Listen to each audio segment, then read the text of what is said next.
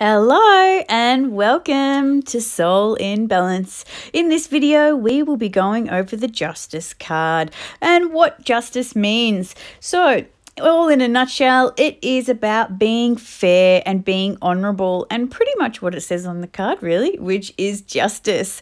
So, if we look at the key words here, we have fairness, balanced judgment, equilibrium, education, boundaries.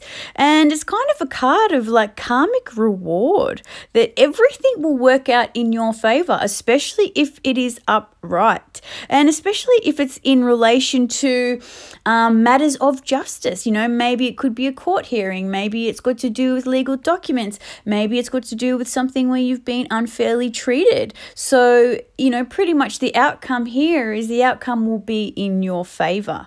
Um, and this card also represents Libra. And Libra is the scales, as we all know. And it's also represented by Venus. And that is about being fair. And it's about love. It's a wee card. And if we have a look at the actual card, we have a woman in red, and red represents a color of power.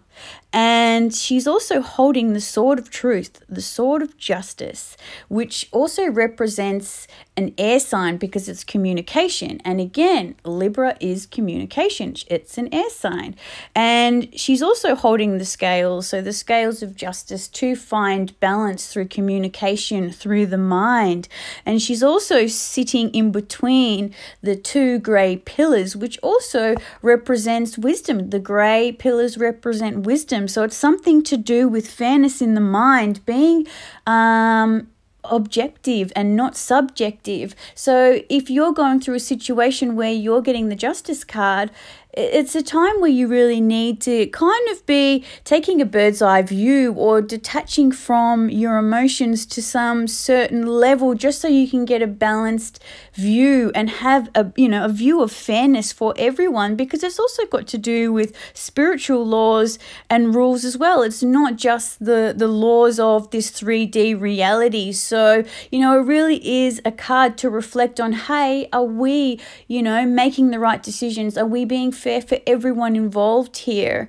And it also represents, you know, an outcome that we've been going through. You know, we're likely to have great karmic reward or for something to work out in our favor. So I hope this was helpful. I'll see you soon.